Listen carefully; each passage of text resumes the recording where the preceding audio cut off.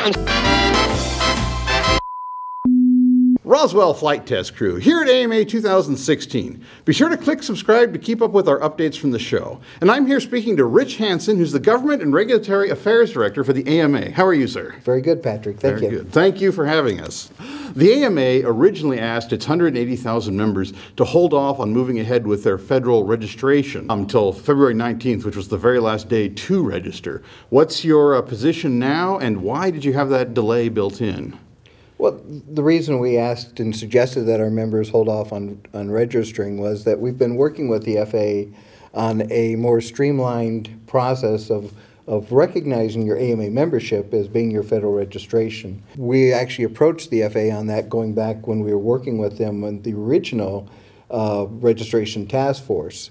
And we have been working with them ever since so that basically AMA members already already register to in a fashion by joining the AMA. They give us their name, their address, their email address. We interact with them on a regular basis, on safety basis. Our safety program directs them to put their AMA number or their name and address on or within their aircraft. So that literally ties them to the aircraft and, and effectively accomplishes the objectives of the federal registration program.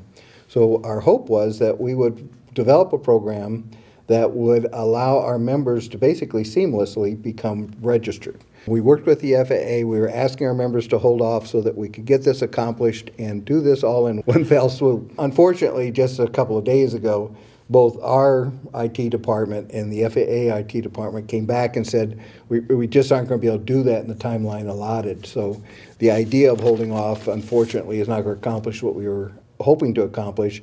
And certainly the requirement to register is still in effect. It became effective December 21st, and you have until February 19th to accomplish that for your existing aircraft. So we certainly would expect all of our members to follow regulation and law and be in compliance. And if they register before the 20th of January, they, they get the $5 fee rebated back to them on their credit card. So if we're going to do it, we might as well do it in the next 10 days or so. That's correct. And the registration uh, system that they put forward did allow a 60-day grace period, but gave you 30 days to register for free. So that 30-day window will expire on January 20th. Now, uh, going back to the registration, um, are, is that something you're still working on? You hope that we'll achieve in the future, so one day our AMA memberships will be our federal registration? Yes, that, that uh, effort is still moving forward, and the FAA um, is certainly receptive to that process, and they have told us that they're going to continue working with us on trying to make that happen. Unfortunately, it is going to take longer than we had hoped. It may be several months before all of the IT pieces are put together to make that happen. But once it does, basically by being a member of the AMA in good standing, you will have registered with the federal government and you will be able to use your AMA number as you have in the past as your registration ID. And eventually, we're hoping that actually your AMA card will be your proof of registration. There's still some issues there that have to be addressed and some ways um, maybe we'll need to modify the card so that uh, becomes more um, obvious in terms of what's intended there. But that's our hope and that's our vision for doing it. So as AMA members have in the past, you join the AMA, you pay your dues, you, you become fully registered, and you still have fun flying model airplanes. I know a lot of people would be much more comfortable doing business that way. So, Sure. yeah. Now, uh, I understand that you've been continuing to work with the uh, FAA on some of these issues which have been very troubling to, to model flyers and those of us in the drone community, like the, um, the 400 foot limit. There's been a lot of question, is that like a hard limit? And I know a lot of acrobatic guys, a lot of sailplane guys routinely go well above 400 feet, and they do so safely, but there's a lot of concern that this 400 foot limit is somehow, you know, a hard and fast rule, and you're, you're aiming to get some flexibility from the FAA on that. For example, how's that going? I think it's important to remember that um, we have always had a 400-foot guideline going back to 1981 with the original advisory circular, where FAA said that model aircraft should stay below 400 feet. And we have incorporated those guidelines into our safety program to um, allow for the modeling operations that we do on a daily basis to be done safely and to recognize the need for staying below that particular altitude in areas where we have the biggest risk for countering encountering manned aircraft. And that's basically when we're getting close to airports. That's where manned aircraft converge and come down to lower altitude. So the AMA safety code says that you stay below 400 feet when you're within three miles of an airport. That three miles mirrors what was in the old advisory circular in 1981. Now, we're also hearing the 400 foot guideline in reference to UAS and what people are calling drones. And 400 feet is a good Oh, yeah. safety principle that these types of devices really are safer down at these lower altitudes, knowing that most manned aircraft are above those altitudes. But there are modeling activities that necessarily take us above 400 feet, and there are activities where it's actually safer to do it at 400 feet.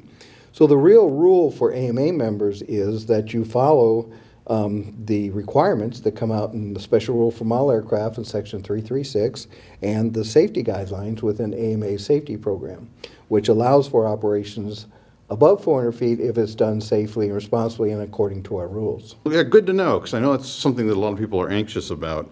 And um, speaking of anxious about things, let me ask you, you were a member of the task force, the task force on drone, you know, UAS registration. Uh, Can you sort of give us a little sort of inside scoop of what it was like to be in that room and how that process worked out? And just, just dish, Rich, dish. Well, sure. I mean, again, remembering that this was close to an edict that came down from um, the executive branch. It, it certainly was as high up as the Secretary of Transportation, Secretary Foxx. In October, he announced their intentions of creating a registration system for the recreational use of unmanned aircraft. Um, they also formed a task force of industry and stakeholder representatives to come together and make recommendations on those um, requirements and the registration process. We were one of close to 30 people that represented various aspects of the industry. Mm-hmm. We were just one seat there that represented our 185,000 modelers, but there are also seats there that represented the man community in the form of the Air, Aircraft Owners and Pilots Association, the Helicopter Association International, the Airline Pilots Association, the Association of Airport Executives, I mean, there, there was a large representation from the man community. There was also representation there from the UAS industry, people like DJI, 3D Robotics, Best Buy as retailer, Amazon as retailer. So there was a lot of voices here and a lot of views and a lot of opinions. And the intent of the task force was tried to come to at least a general agreement, if not consensus, on a set of recommendations going forward. And we were on record as saying back in October when Secretary Foxx made his announcement that we believe that registration does make sense at some level. And to us, it starts making sense when you start talking about a device that has the capability to self navigate. And self navigate gives it the ability to either intentionally or inadvertently fly some distance away from the pilot. So we were really hoping that we'd be looking at a threshold for registration that targeted that capability. Unfortunately, from our perspective, the task force went in a more simplistic approach and said, well, let's just make it very simple. We'll just make it weight oriented. That was sort of the first decision that was made. And then when they selected the weight, they started looking at lethality. There's a study that's been around for a while that talks about how much energy constitutes a lethal blow if something falls from the sky. And that initial study was looking in the area of somewhere around 150 to 200 grams, which would create enough what they call joules, the amount of energy, to, to be lethal. The task force said, through somewhat of a negotiation, a give and take, um, they selected the threshold of 250 grams, which is just a little over half a pound. I think it's 8.8 ounces, something like that. We really were concerned that that was a little too low. Actually, we think it's significantly low. We um, looked at our Park Pilot program that's been around since 2008 that identified the very small, lightweight, microelectronic RC aircraft, and we set that threshold at two pounds, which, or you could say that would have been about one kilogram. And we know from millions of flights since 2008 and even before that there's never been a significant injury, let alone fatality, involving one of these aircraft. So, although an object falling from the sky from 400 feet has the lethal potential, when you start looking at probability of it actually hitting and killing somebody, the experience that we have in our community is that extremely low probability. We're concerned that we're actually looking at things that, that have basically toys. Yeah. They have very little capability. They have a very short lifespan. A lot of these things that were given as gifts over the holiday now have, have either been broken or have been discarded, or they've lost interest in them and they're now drawing dust on a shelf someplace. That really was something that we voiced in the task force. But when you look at the task force operations, uh, you know, we were, we were not able to convince others to go in that fashion. They really felt strongly that we, since there was some lethal potential there, that they should be registered. Well, thank you for letting us know, because I know that the people have been very curious to know what that negotiation was like, so thank Sure. you. You know, if I can follow on to that, um, another aspect of it that we felt strongly about was the AMA community, by its nature, registers its members. When a member joins the AMA, they give us their name, their address, their email address. We interact with them at least once a year for renewal purposes. We actually interact with them on a monthly basis through our communications, constantly distributing safety material to them. They have the ability to relay safety issues to us. By our safety program, they're asked to put their AMA number or their name and address on or within their aircraft so that the aircraft gets away from the operator. It can be identified as to its ownership and who's responsible for it. So we believe strongly that AMA members effectively meet the objectives of registration. Mm-hmm. And we've asked through the task force process that we be given some dispensation for that and either be exempt from the process or that our membership process be viewed as an alternative means of compliance or as a minimum that we use the membership process a way of getting those people registered.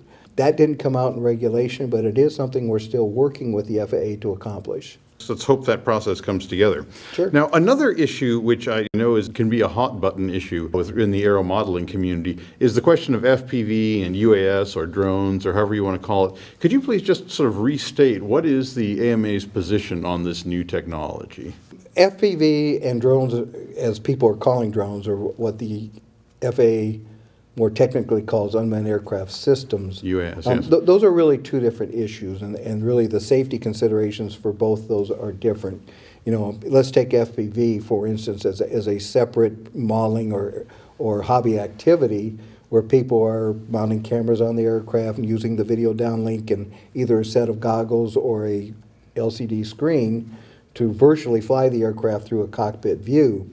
This potentially gives the operator the capability of going beyond visual line of sight, but doesn't necessarily they're- intend to do that. We certainly welcome that technology. It's another aspect of flying model aircraft. I've done it myself. I mean, it's not actually brand new technology. I did it back in the 90s. Oh, yeah. Uh, and it's a challenging, fun way to fly. But you still are required, uh, now by law, to keep that aircraft within visual line of sight. And you also have to have the ability to see the airspace around it and see and avoid any other aircraft or objects that you might run into.